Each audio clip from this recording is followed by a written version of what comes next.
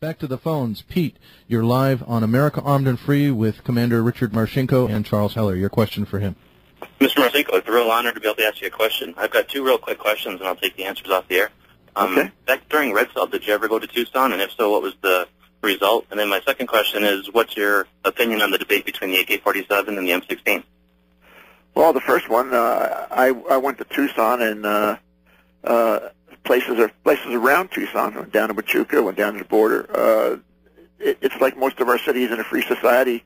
Uh, I think going uh, going to Davis-Monthan and, and taking picket litter out of there would have been fun. Um, everybody could build their own plane uh, out of the dump out there. Uh, on the Yeah, we, AK-47, call that uh, A mark, sir. Go ahead. on the AK-47 versus the M16. Uh, uh, one, if you can, you know, if you're working independently behind the lines, uh, it's nice to have the lighter load.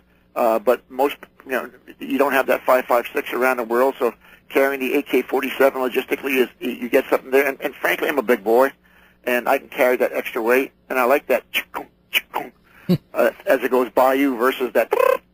And uh, you know, the the, the two two three five five six does a nice tumble and tears you up on the inside, but uh, I, I like that knockdown power of, of the uh, 762 uh, that comes out of that AK, and it's so it's great in the field. I mean, you you can get it muddy. You, you, it, it's got great tolerances.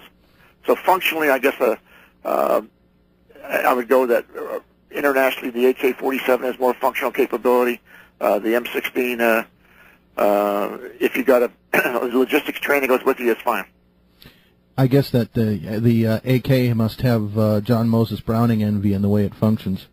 Well, the, the, the interesting, uh, I mean, I I actually met Kalashnikov in St. Petersburg. Oh, did you? He's 80, I think 82 years old, and and a feisty old general. I mean, you know, he.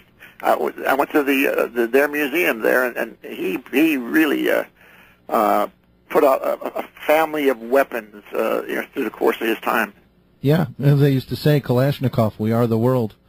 Well, he, did his part. That's for damn sure. One of the scenarios you sent me in support in some support literature uh, off the air talks about something that uh, when I uh, first observed it, when I observed it my, myself firsthand last year struck me as a tremendous terrorism target, and I'm specifically referring to Boston Harbor.